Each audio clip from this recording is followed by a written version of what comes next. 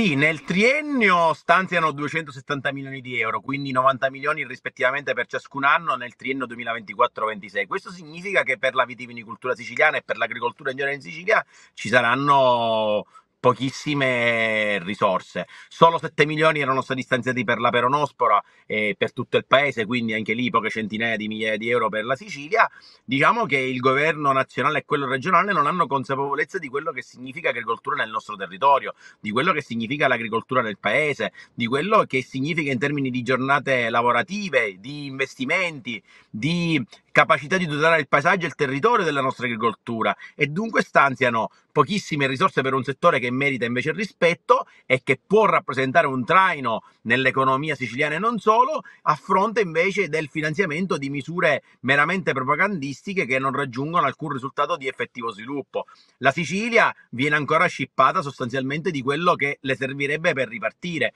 È avvenuto con il miliardo e 200 mila euro per finanziare il ponte sullo stretto, che dovrebbe finanziare il governo nazionale, invece lo pagheranno i siciliani. è avvenuto con le misure sulla sanità perché ehm, le, le, risorse del PNRR che dovevano finanziare case di comunità, ehm, ospedali di comunità sono molt- in molti casi sparite e serviranno per finanziare altre cose su scelta del governo. E, e, dunque è avvenuto sulle ZES, si accentra tutto al governo, sparisce il credito d'imposta, spariscono le risorse per il sud e, e, dunque viene privato per esempio la provincia di Trapani di investimenti importanti, viene alzata la soglia, dunque c'è un disegno che è quello sostanzialmente di penalizzare il sud. Di recente è stato approvato il decreto sud, potremmo dire decreto contro sud chiamarlo, e, e l'agricoltura purtroppo è uno dei settori più colpiti e la vitivinicoltura in particolare sta subendo dei danni fortissimi. A me pare che in Sicilia ci sia un disegno, che è quello di smantellare il sistema